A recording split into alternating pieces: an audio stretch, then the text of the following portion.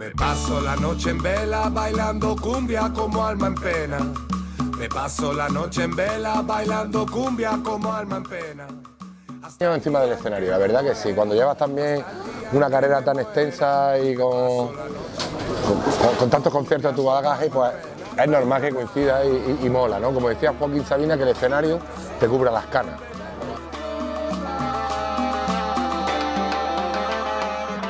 Eh, hombre, lo difícil es poder llevarse bien también muchas veces, eso es lo que muchas veces nos preguntan, de cómo podéis, cómo conlleváis eso de, mm, llevar tantos años juntos, llevaros bien y todo eso. En realidad no nos llevamos bien.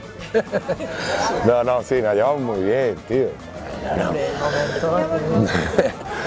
Creo que consiste en, en ser buenos amigos, como, como mantener una amistad durante muchos años. Hay amistades que vienen, y amistades que se van y otras que se quedan para toda la vida, ¿no? Pues estas más o menos llevan ya mucho tiempo y se van quedando. Y entonces el respeto, el tener también las mismas inquietudes, pues eso hace que, que- que- que- que sigamos juntos con la misma... Y cuando no estamos de acuerdo se votan las cosas y Claro, y, y- y se hace lo que yo diga. Sí, creo que forma parte de la manera de pensar que tenemos y la manera de ser que tenemos. Si fuera de otra manera, a lo mejor no, no seríamos tan, reivindicativos. tan reivindicativos. Pero somos así, nosotros vamos a la furgoneta todo el día diciendo cosas que vemos mal y entonces es normal que lo expreses en tus letras. Lo único que nosotros hablamos a nivel social como puta sociedad, que es- de fondo sí, ¿no? Pero hablamos más a un nivel sobre todo eh, un crecimiento personal. Em- empecemos por ordenar nuestra casa, para ordenar nuestro patio de vecinos, para ordenar el barrio y luego ordenaremos poco a poco, ¿no? Pero creo que lo, lo principal es, es nosotros, la lucha interna, ¿no? Organizar tu vida. Organizar tu vida.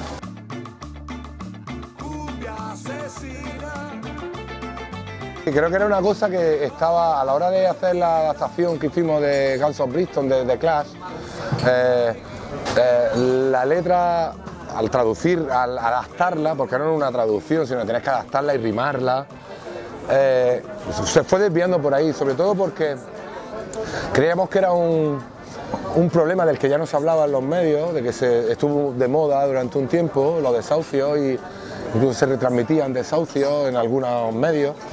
Y ahora parece que ya no existe ese problema cuando, cuando sigue siendo un, gran drama, creo yo, ¿no? Y entonces, y todos los días hay ciento y pico desahucios. Entonces, era una manera de orientar y, sobre todo criticar a, los amos, que, que los señores de la banca. Nuestra filosofía de, y nuestra manera de entender la música es, que hacemos un poco de todo, ¿no? nunca nos hemos ceñido a, ni- a ningún estilo. O sea, cuando la gente dice, oye, habéis sacado este disco, no es nada sorprendente que hagamos algo diferente.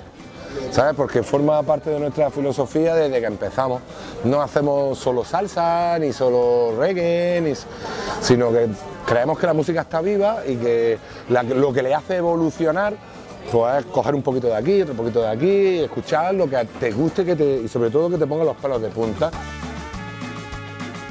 El otro día lo describían, eh, tocamos en Granada la semana pasada, la semana pasada, ¿no? Y, y, ponía un, un- un colega nuestro de Facebook, ponía que acababa de venir de una clase de spinning, ¿no? Y que tiene un, un pulsómetro y entonces le ponía las pulsaciones que había tenido en la clase del spinning, de spinning y las pulsaciones que había tenido en, en el escorzo y, y superaba muchísimo. O sea que ya saben, señores, señoras, si quieren ustedes... saludable. Eh, la, ¿cómo se llama ahora mismo? La, la operación bikini, vengan a, a ver un concierto de escorzo.